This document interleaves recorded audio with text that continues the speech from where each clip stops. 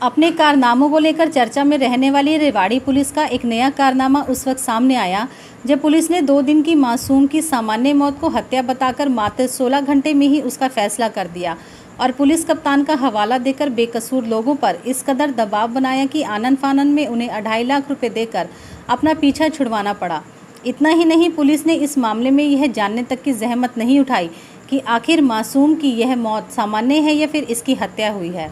जी हाँ, हम बात कर रहे हैं रिवाड़ी के दिल्ली रोड स्थित अभय सिंह चौक की, जहाँ राजस्थान के कुछ अप्रवासी मजदूर झुग्गी डालकर वर्षों से रह रहे हैं। गत 8 सितंबर की रात को एक झुग्गी में दो दिन की एक मासूम की मौत हो गई थी। इसी दौरान झुग्गियों के साथ लगती पूर्ण नगर कॉलोनी में रात को अचानक बत्ती गुल हो गई।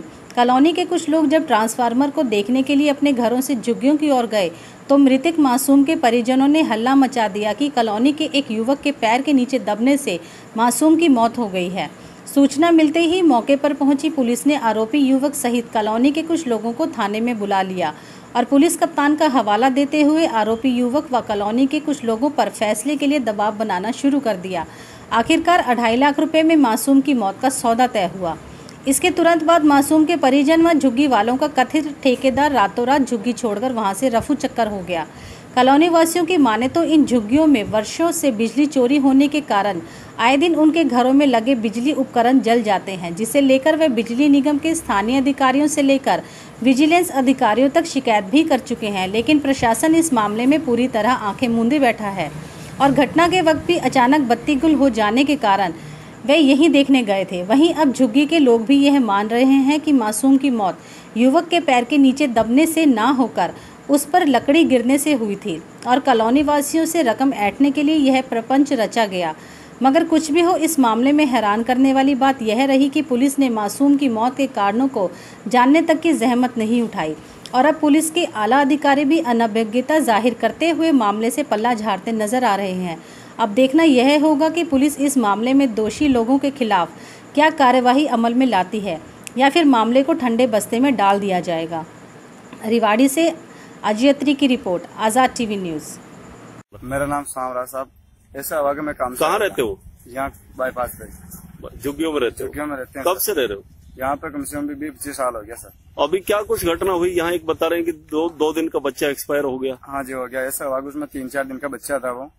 तो उसमें ऐसा हुआ कि लाइट वाइट लगाते हैं जिग्गी वाला तो सब लाइट लगाते हैं। लाइट का चक्कर में एक मोहल्ला वाला ताऊ था। लाइट डायरेक्ट कुंडी कनेक्शन लगाते हैं? हाँ कुंडी कनेक्शन डायरेक्ट। अच्छा। तो वो ताऊ आया समझाने के लिए कि तार कैसे लगा रहे हो? यहाँ पर हमारे डिम लाइट आती है ऐसी प्रॉब्लम है तो वो आने के बाद में उसके आते पहले वो लड़का तो दो दिन पहले चाहे दो घंटा पहले से मरा हुआ था और सिर उसका कर दिया रोना पीटा शुरू किया। किसका बच्चा था? ये बच्चा था साहब भबुड़िया का। बाबड़िया झुग्गियों में रहता है। भब्बू नाम है उसका बाप का झुग्गियों में रहता झुग्गियों है में रहता है। अच्छा। और मैं काम से आया था रात का टाइम था नोई देख के मैं उस पंगा में मैं भी खड़ा था वहीं। वहीं मेरी औरत भी थी देख लिया सब कोई।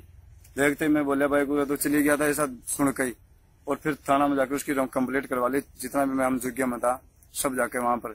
देख के भाई जब मैं वापस आया तो रात को उसकी आंटी आई पता नहीं कौन सी आई वो बोली, भाई बेटे, अपने घर में बैठ के फैसला कर लो कि पुलिस थाना में घसीटते हो, नो करते हो, वो करते हो? तो उसने बैठ के अपने आपस में फैसला कर लिया, ढाई लाख रुपया में। वो पैसे देने की बात थी सुबह फैसला अपने हाथ में देते पैसा लेना। सुबह गया था, हम जुग्गी वाला मिलके सारा उसके साथ, वो सारा अंगूठी दस्खत किया और वो पैसा उसने दिलवाया अढ़ाई लाख रुपए अढ़ाई लाख रुपए लेके घर पे आ गए। घर पे आने के बाद में आपस में जब उसको भेजना था, भगाना था, उसको लाख रुपया खाना था, जो मुनिम्बर था, उसका नाम कालू है। जो उसका फैसला करवाया जाए। तो वो उसने फैसला करवा के उसने कालू कौन है ये? ये कालू उसी जुग्गे में रहता है। वो भी बागड़ी ही है।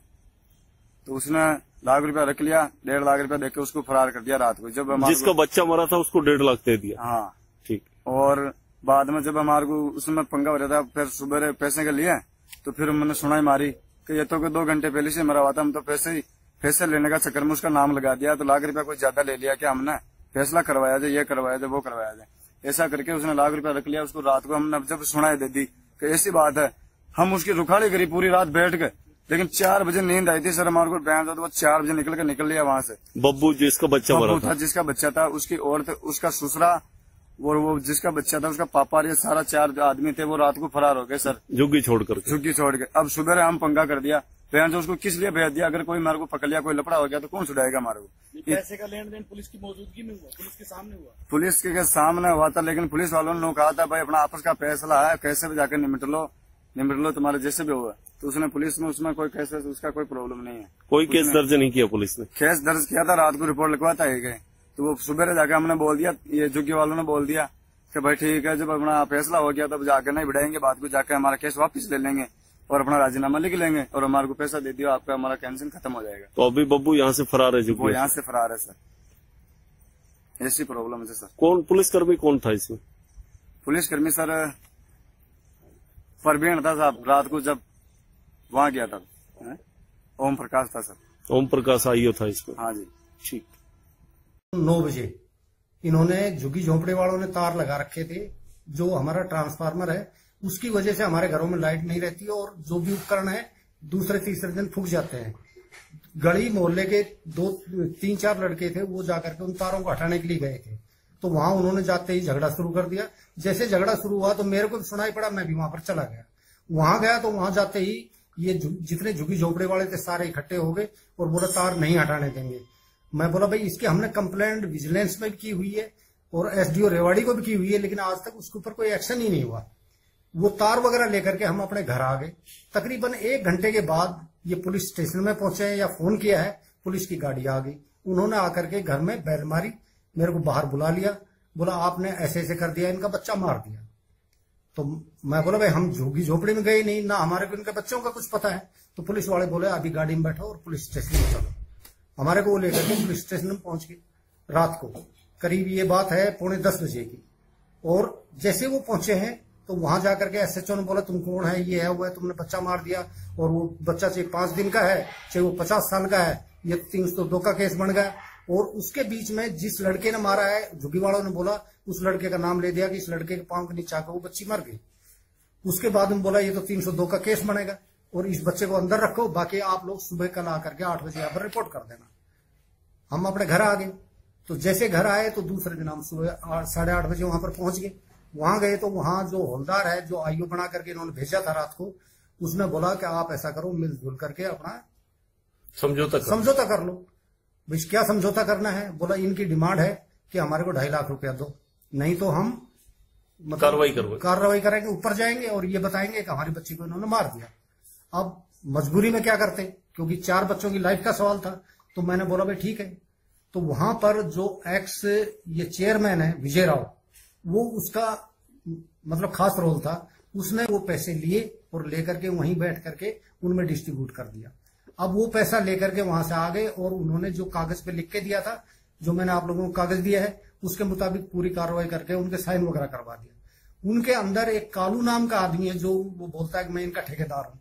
अब सुनने में आया है कि वो उसने एक लाख रुपया ले लिया और जो बच्ची जिसकी मरी थी वो वो कहते हैं कि उसको डेढ़ लाख रुपये वो ले लिया उसने। और वो लेकर के यहाँ से जगह छोड़ के भाग गया झुग्गी छोड़ गए। झुग्गी छोड़ के चला गया और कालू को पुलिस ने अभी तक अरेस्ट नहीं किया है। कालू को अरेस्ट भी नहीं किया है और अभी भी वो लाइट लगाने से दो दिन हो गया फिर बाज नहीं आ रहे अब भी वो लाइट लगा रहे हैं। लगातार जहाँ आपने शिकायत जबकि मैं लगातार रिपोर्ट कर रहा हूँ रिटर्न में कर दिया वर्बली कर दिया लेकिन आज तक हमारी सुनाई कहीं भी नहीं।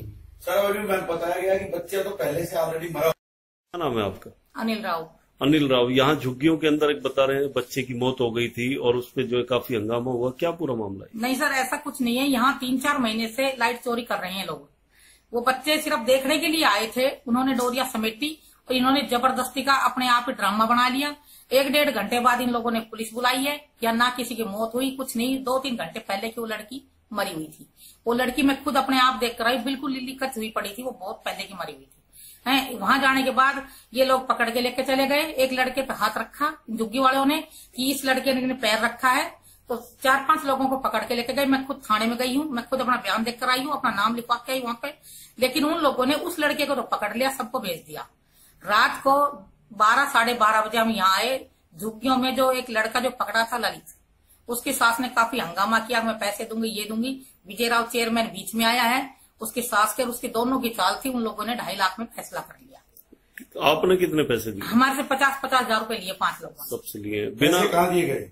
पैसे थाने में दिए गए हैं। इधर जो गाड़ियाँ जो खड़ी है ना कंडम हुई गाड़ियाँ उधर पैसे लिए सबसे पचास पचास हज़ार रूपए लिए क्या- विजय राव ने अपने हाथ में लिए क्या कोई दबाव बनाया गया है इसके लिए? क्या बस ये कहा है कि अगर तुम ये पैसे अगर तुम फैसला नहीं करोगे तो ये झुग्गी वाले हैं ये आगे तक पहुँच जाएँगे और फिर तुम्हारे बच्चे तीन साल तक की सजा मिल जाएगी इनको। इनका करियर खराब हो जाएगा इससे बढ़िया तुम अपना फैसला कर लो कुछ भी नहीं रखा कोर्ट काट में। तो उसके बाद इन लोगों ने ढाई लाख में फैसला कर लिया और बस यही बोला एसपी साहब कहती है कि इनको यही निपटारा कर दो इन लोगों का जैसे भी हो। तो आपने एसपी से मुलाकात की इस बारे में? नहीं अभी नहीं हम कल जाने की सोच रहे हैं। अब क्या कुछ मांगे प्रशासन से आपकी? प्रशासन से मांगे यही है कि जब सारा मामला सामने आ गया कि वो लड़की मरी नहीं। दूसरी बात उन्होंने जो लिखित में जो बयान लिए है ना ढाई लाख रुपए लेकर उन्होंने ये कहा कि हमारी जोगी की लकड़ी गिर गई वो लकड़ी बच्ची के ऊपर गिरी है और तब बच्ची मरी है। जब बच्ची मरी ही नहीं हाँ। किसी के द्वारा तो फिर इतना बड़ा आडंबर क्यों किया गया? तो ये आडंबर करवाने वाले कौन थे? विजय राव चेयरमैन साहब थे? या उस लड़के की सासू थी? उन लोगों ने उषा देवी उसने करवाई है सब? अभी मेरे से ध्यान में नहीं है। मोहल्ले के लोग कह रहे हैं कि मामले को थाने में ही समझौता कर दिया गया रफा दफ़ा कर दिया गया। इसके बारे में? सर अगर संज्ञान में आता है तो क्या कुछ कार्रवाई होगी?